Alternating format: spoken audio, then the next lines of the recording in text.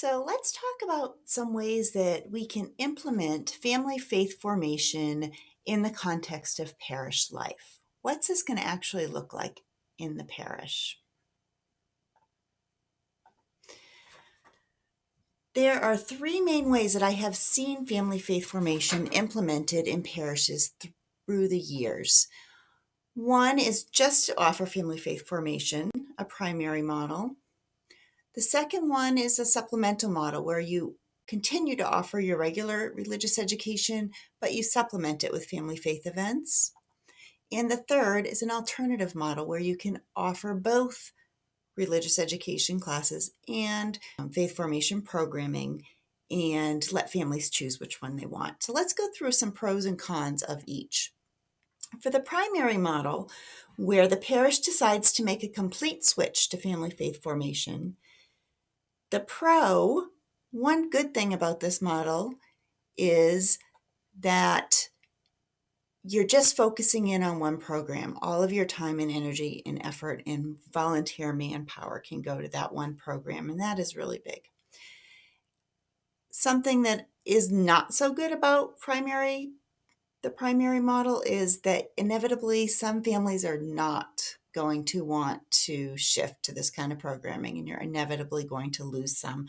This feels awful and it's really hard, but there are some good ways to handle the situation that benefit everybody.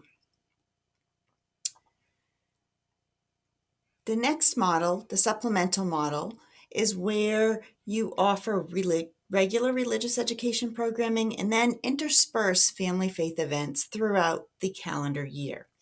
The goal here maybe to just offer it this way all the time with regular RE and supplemental programming, or it might be to slowly transition to a family faith formation only model and that is a pro it's if you choose to do it that way it's a gradual change and people are going to be much more open to it as they gradually see how it impacts their lives and um, strengthens their families.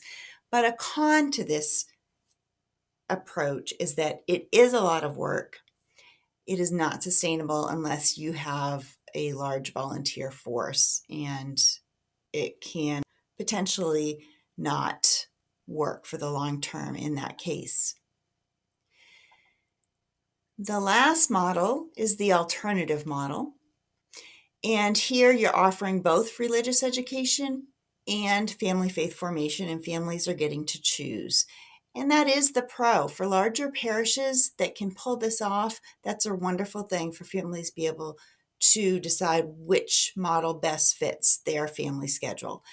Um, and you might even have some families that go back and forth year to year between the two based on what they have going on at home. But again, the con is it is a lot of work and you need a large number of volunteers. You need to be prepared to wear many hats if this is what you choose. There are necessarily a myriad of variations for each model. Every parish has different needs and desires and restrictions that are going to point you to one direction or the other. Um, one suggestion I have for you is to go check out some websites online, and I have three listed up here.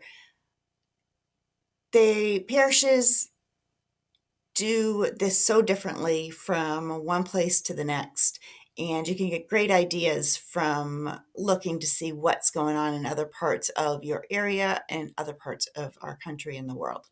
So check that out, and good luck to you trying to decide which family faith formation model is going to work best at your parish. However, that looks for you, I pray for your success. May God bless you in your program.